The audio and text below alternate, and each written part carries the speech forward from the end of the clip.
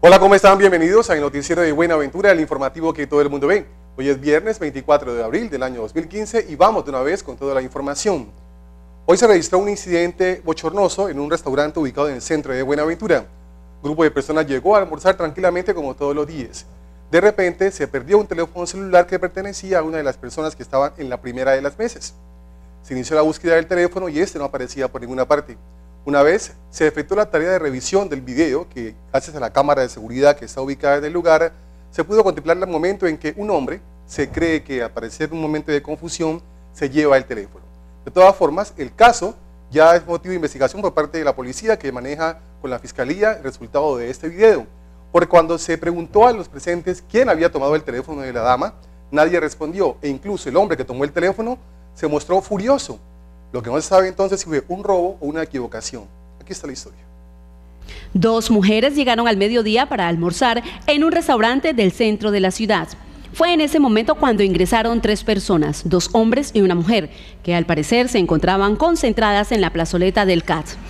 Una de las mujeres al salir del recinto deja en la mesa olvidado su celular. El video de seguridad del establecimiento público muestra cómo a los pocos minutos el hombre se para de la mesa, al parecer va al baño y a su regreso toma el celular que no le pertenece y se vuelve a sentar. Distraje y coloqué mi celular en una de las mesas. Cuando llegamos a donde íbamos a comprar la papelería para decorar, me acordé del celular. Ay, mi celular. Ella llega y me marca y el teléfono no me suena. Entonces, eh, retorno al lugar donde estuvimos y sorpresa, pues el celular se me perdió, se me perdió.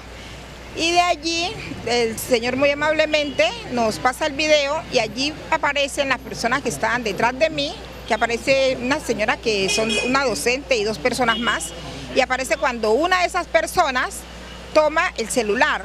Y la pregunta es, estos son los docentes que enseñan a nuestros hijos, estas son las personas que nos están enseñando cultura, porque definitivamente ellos conocen a la persona y no quieren dar información de cómo se puede ubicar para rescatar el teléfono. El teléfono prácticamente no vale nada, el problema es la información que tengo allí.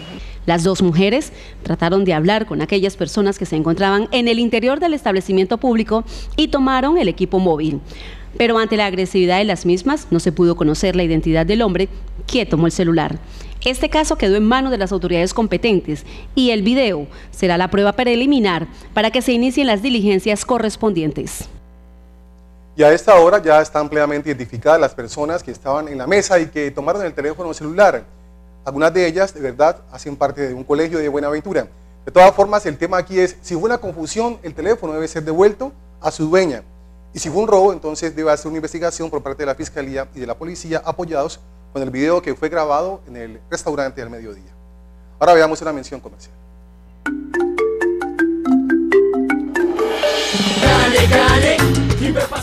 Gane Buenaventura te lleva a San Andrés con todos los gastos pagos y además te obsequia bonos para tus compras. Envía una colilla no ganadora de doble chance de 2.100 pesos con tus datos personales. Realizada en abril. Anéxale una colilla de chance igual o mayor a 3.000 pesos. Y de esta manera participa en el sorteo de dos paquetes dobles para viajar a San Andrés. Todo incluido más un bono para compras de un millón de pesos. El sorteo se realizará el 30 de abril en la oficina principal de Gane Buenaventura, autorizado por la Lotería del Valle. Gane Buenaventura y Dagua te facilitan la vida. Una marca de la empresa Inversiones del Pacífico SA. Gane, gane.